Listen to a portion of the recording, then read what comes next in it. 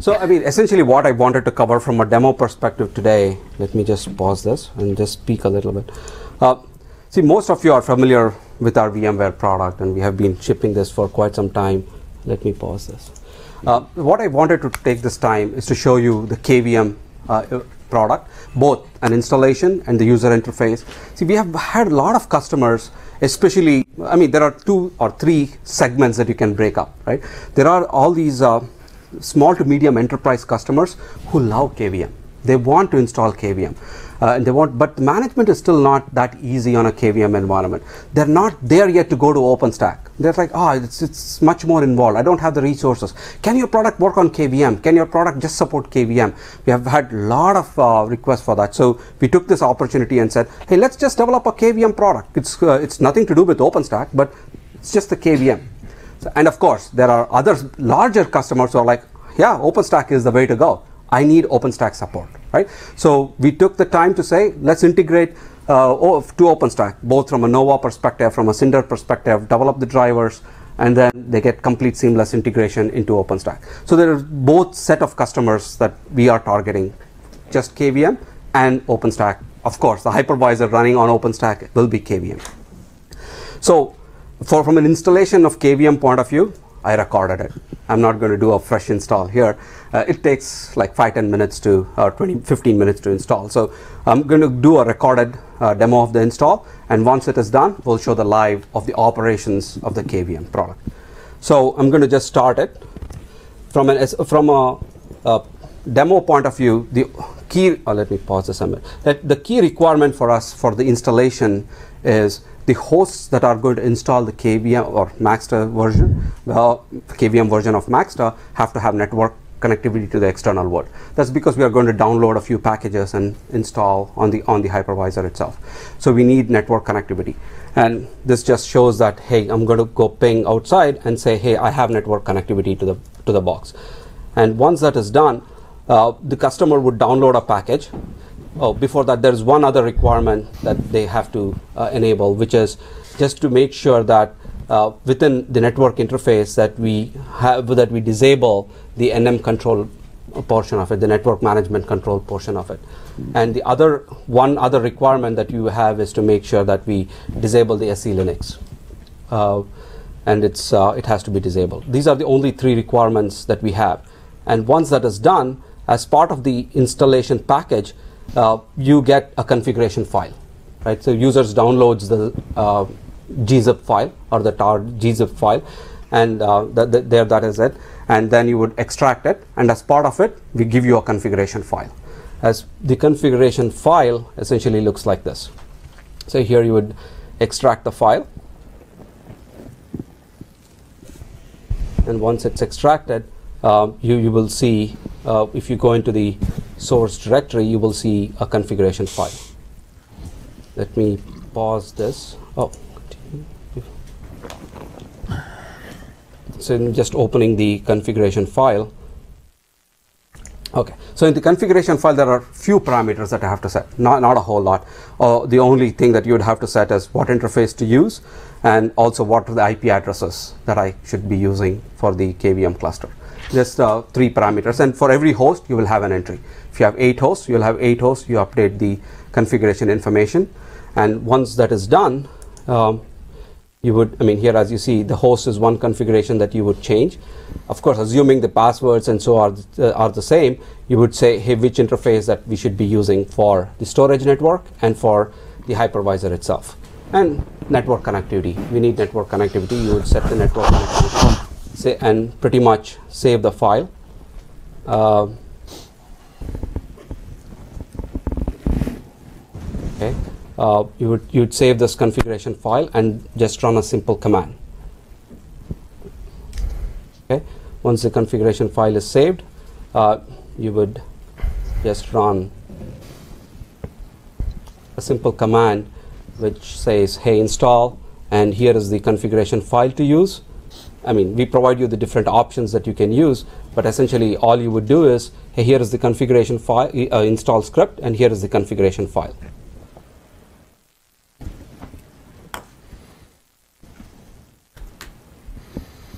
Okay.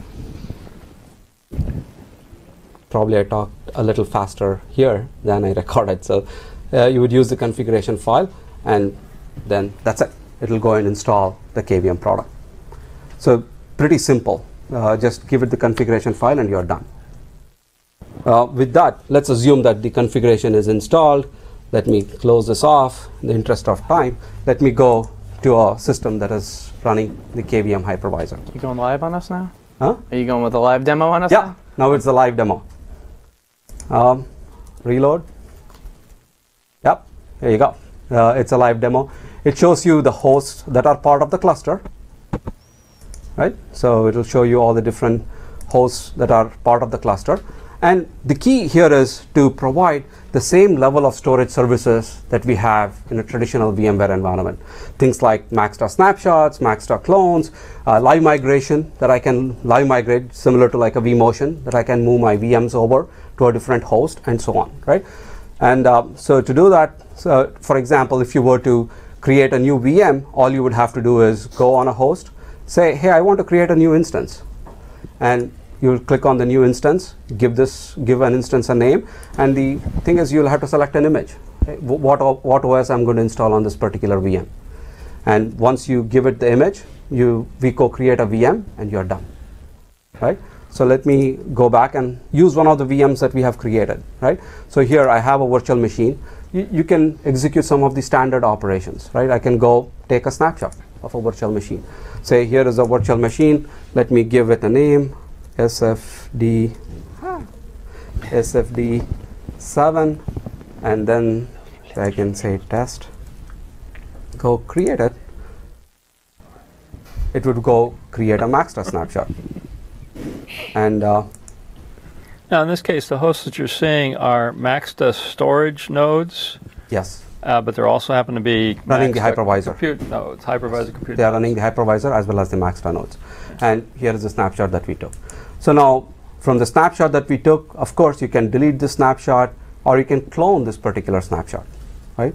So as we talked about snapshot is a read-only copy and clone is the one that lets you read write so i can go give this a name sfd clone and then select a host where you want this vm to be powered on right? Hmm. Let's say i'm going to select 3 say go create it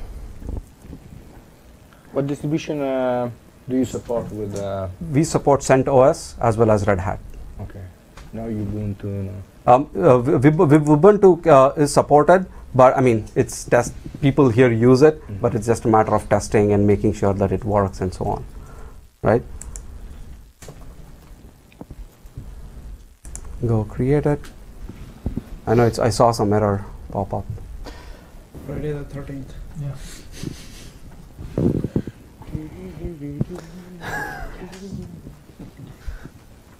Okay, so um, you would go ahead and say, okay, here is the clone that we created. Now, what do I do with this clone? I can go come here.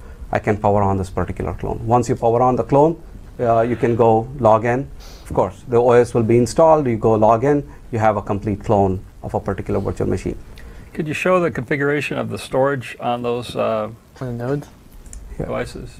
Yeah. So if you go here, if I scroll down, this particular node has uh, HDD, which is the boot disk, and uh, you have uh, the MXSP that's that we are using.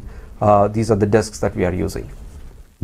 What's the reason you're using a hard drive versus a like flash drive Uh, I mean, we do have purpose? uh, oh for the boot. For the boot? uh, I mean, you could use it. You use could. it. It's just a configuration. It's just a that, uh, configuration. standard practice is to boot from a SATADOM or something, so Mhm. that it frees up all the local drives. So Yeah, that's what we recommend. that- for that's what I was thinking. Yeah. That, that's and exactly. it's significantly cheaper, Exactly. especially in the lab yeah. as well. Yeah. yeah. So we, we, we yeah we don't need a lot of you know SATADOM. Just you know like 32 gig is is good enough for the hypervisor and the Maxta instance. Yeah, I'll think you get 256 gig SD cards now. So Okay. So the the next action. I mean, what's uh, what would be interesting is also to look at live migration, right? I mean, snapshots, clones are interesting, but uh, what really matters is to make sure uh, that you can live migrate, which, which essentially says that I also have uh, shared storage, right? Um, actually, Stephen is saying, "Hey, you're out of time." okay, so let me just at least do a quick live migration.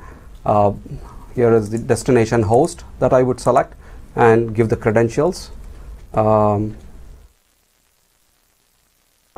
and say, hey, I want to do a live migration of this particular VM and go migrate.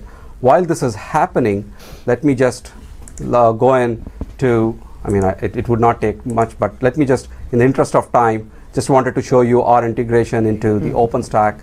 Uh, you have, of course, the standard Horizon, and you go, go to an instance. I need to log in. Um, Oh, you passed through too much of asterisks. What you really need is a single sign-in What is login that? between OpenStack Dot, and dot, dot, dot, VMware. Hmm? What you need is Okay. a single sign. In. So once once once you sign in, uh, you will have all the instances running. I can launch an instance. It becomes after and here right. the idea is we have the Nova integration as well as the Cinder integration and the Glance integration, right? So you have Nova which says I can take a snapshot. So it means that we understand that the request is coming from the compute. I'm going to take a snapshot or I'm going to clone it on a Maxta or a Cinder driver that's supported by Maxta and you power on. And how in sync are you guys with the OpenStack updates So to Cinder Nova, et cetera? Yeah. So essentially, from uh, a pure OpenStack point of view, uh, we right now are operating on Juno, and we are already looking at uh, promoting our driver Cinder as well as Nova drivers into the Kilo uh, branch, so that everybody gets it. Okay. Right. Uh, but from a distribution point of view, because I mean, we don't want to support. We are not an OpenStack company which is supporting OpenStack, right? So we want to, from a support point of view, we want to support a distribution Yeah. with the distribution like Mirantis and Red Hat. So we have qualified Mirantis, we have qualified Red Hat, we have have a partnership with Mirantis, uh, and so on. So essentially, from a support, we want to go the route of supporting a distribution. And from a support and from a Maxta development point of view, we are very much in sync with what's going on with uh, the latest and the greatest of OpenStack. That's what I was looking for. Thank you.